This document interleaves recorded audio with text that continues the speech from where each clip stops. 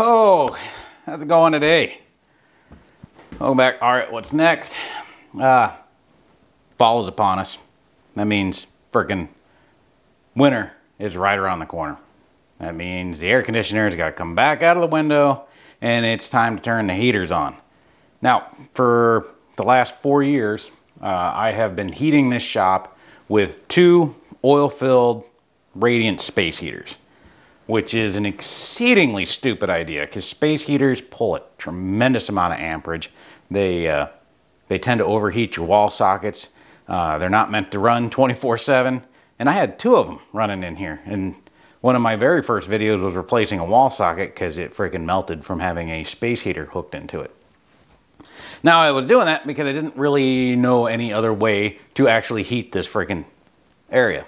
And did some reading. You know, I actually know how to do that. Uh, watched a few videos, did some more reading. I've got some of them uh, home electrical books, nothing too complicated, you know, like uh, see Dick wire in a light socket, see Dick get electrocuted, see Jane run all the way to the bank with the life insurance check because she had a huge policy taken out on that Dick. But anyways, I kind of figured out a few things that I could hook 220 or I guess 240 up in my shop. So I got this, there was a moth under it, this Dyna-Glo heater from, uh, from Menards, one of them big box hardware stores. It was 95 bucks for this heater and I had to figure out how to put a 240 circuit in here. I'm not gonna show you how I hooked it up because it's already all hooked up, but we're gonna go over it. Now, let me preference this by saying do not take anything I'm saying right here as the way you should go about doing it. Don't follow a goddamn thing I say. This is not educational. This is not informative. It is probably not even entertaining. The purpose of this video is nothing more than it is a content video because it's hard to put out content and I got to have something out every goddamn week. So this is a content video, nothing more. Don't follow what I'm saying because if you're an electrician and you watch this, you're to go, oh my God, this guy is an idiot. We know that is well established. I'm pretty sure we've established that through many of my videos in the past. So right now, this is on, as you can see, there is a light right here. I shouldn't say it's on, there's power to it. There's 240 volts going to it. So I've got a, uh, a black and a brown and a ground wire all hooked in here. The black and the brown are both running uh, approximately 120 volts. Anytime you hear anybody say you know, it's, a, it's a 110 outlet, it's actually a 120 outlet. Voltage coming into your house is 120. You need to double that up to make a 240 circuit to power this heater. So now hopefully this winter, my shop is gonna stay nice and warm and be a lot goddamn safer than it was being heated off of space heaters.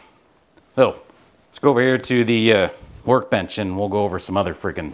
Now, the reason why I am capable of doing this wiring is because I stay somewhat intoxicated when I'm at home.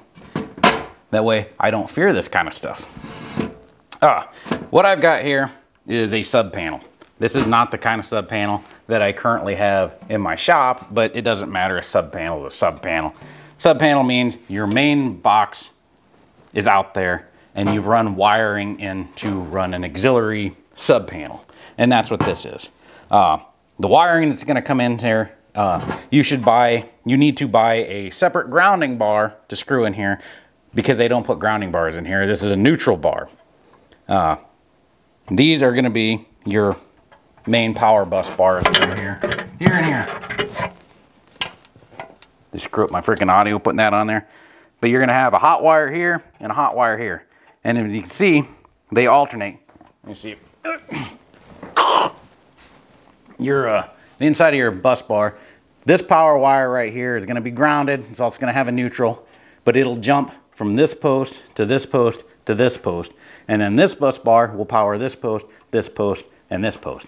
That's important for when you're trying to hook up your 240 because this is 120, this one's 120, that one's 120, that one's 120, that one's 120, that one's 120.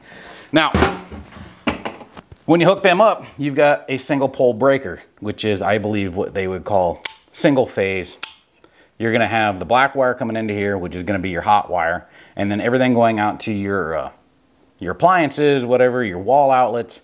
The black wire is gonna be hot. The white wire in your uh, wiring schematic is going to be the neutral, and then it's either going to be a green wire or a uh, bare copper. Let me, I got to have a piece of wire. Hold on.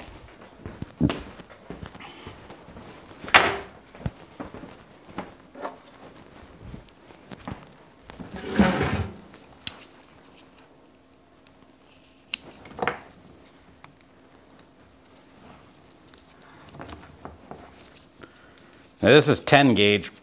This is called 10-2. It's 10 gauge wire. It's got two leads and a ground.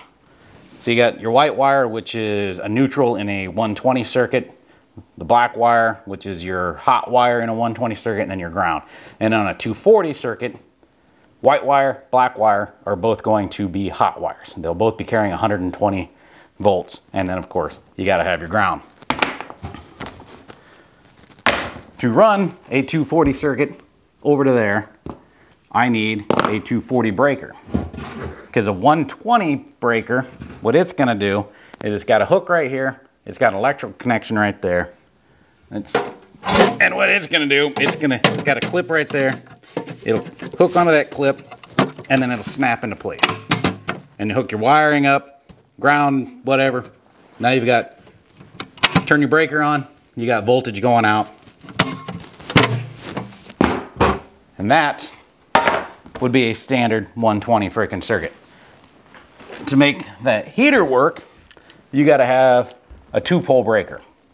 So this will send 240 volts out. And the reason why it does that is because it's a two pole breaker.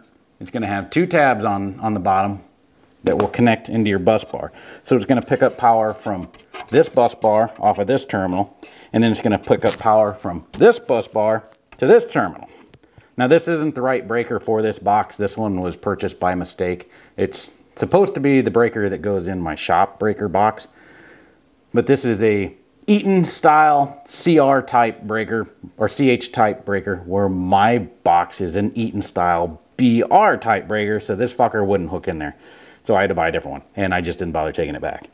But basically what it's gonna do with them two electrical connectors, it's gonna snap into this post and this post, which will pick up power from this one and this one. So now you've got 120 volts going to this screw and that screw, which then will go into the black wire and white wire, which will connect there, and then the ground wire will be on the ground terminal, and then it'll go out ground wire to the ground post in there, black wire, white wire to the two posts in there. Now you've got 240. Now, When I hooked it all up, turned it on, my heater still didn't work. It got nothing. I, I went over there, I'm checking, and it had, it had 120 volts going to both of the terminals in the heater. And it wouldn't do anything. The lights wouldn't come on, nothing. It's like, well, what the hell? Uh, I figured I had a faulty heater, so I was getting ready to take it down. Like, you know what? I think I'm going to do a little bit more research on this. And I went and watched some of the, probably the most boring videos you can possibly ever imagine watching. It's uh, electrical theory uh, videos and how electrons flow and, and just exceedingly boring shit. But I figured out what the problem was is my shop was wired, uh, I believe it's called single phase. What it was is I only had one hot wire coming in and it had a jump wire from one bus bar going over to the other bus bar. So I only had a single source of electrons going into this. So that thinks it's picking up a source of electricity from the same, same source. It has to have alternating flows of electrons or whatever in order to, I guess, uh, you got to have two different sources. It's got to be two-phase freaking electricity in order for your 240 freaking uh, appliance to work. So I had to go to my main breaker, my the main box out there in the corn crib, and rewire that. And went in there and found out it's I'm running a uh, a single pole breaker to supply power out to this shop, to the sub panel. So I had to pull the single pole breaker, put a double pole breaker in there. It's got, I believe, 8 gauge wire coming out here. And uh, I put the double pole breaker in there, hooked it all up, flipped it on, and it made this god awful freaking buzzing sound. Now this is where uh, you know probably drinking came into into play. Is I forgot a critical step. That critical step was I forgot to change my box in here over from single phase to double phase to where I was still running a jumper wire between the two bus bars and I uh, I still had the white wire connected to the the uh, neutral bar which means I'm sending 120 volts down the line to friggin' the neutral bar and yeah it made some luckily there was no sparks nothing caught on fire but as soon as I flipped that breaker on out there it was just this ungodly loud scary freaking electrical buzzing sound and it was like shit, I know what I got to do. So I ran out here, sw swapped the wires around. It took, you know, all of, you know, two minutes to freaking do it. Went back out there, flipped the freaking breaker on, no buzzing. Came out here, checked each individual circuit. I got power, started turning things on. Everything came on. The light on my freaking heater came on, turned it on. It's like, fuck yeah, lo and behold, I have a working 240 volt freaking furnace. I really wish I would have known this information when I built this shop because then I wouldn't have this god awful orange cable stapled across my ceiling going over there. It would have been like all the other wiring in here. It would have been encased in the wall, in conduit, ran over there, dropped down through a pipe. But I am not climbing up into that ceiling and trying to freaking do that. For one thing, the rafters are like six feet apart and and there's about four foot of uh, of a shake and rake insulation up in there, they, uh, it would be it would be easier to take the roof off the building and come in from above than it would be to actually try and climb across here and drop a line down into that, that breaker box.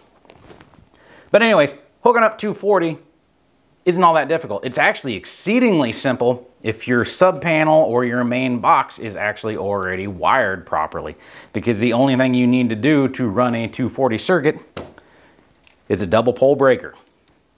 Once again, do not listen to me. Don't take anything I say and it's like, well, that fucking idiot did it. I can do it. Um, no, you can't. You're going to get yourself killed. Don't do what I say. Don't do what I do. I'm just talking to a fucking camera out here in the shop drinking beer.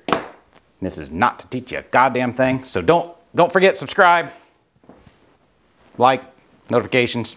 Remember, I'm an idiot. See you next time.